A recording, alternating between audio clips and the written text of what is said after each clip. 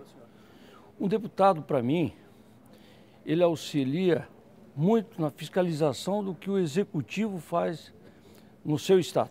Por exemplo, o que o governo do estado faz, o deputado está aqui justamente para fiscalizar.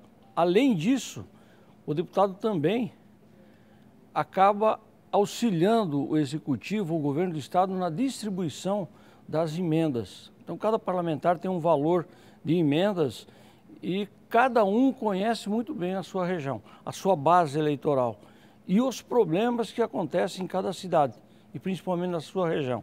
E aí auxilia distribuindo de uma forma que não seja cometida injustiça nesse momento de levar o recurso né, para o interior e para nossas cidades em Santa Catarina.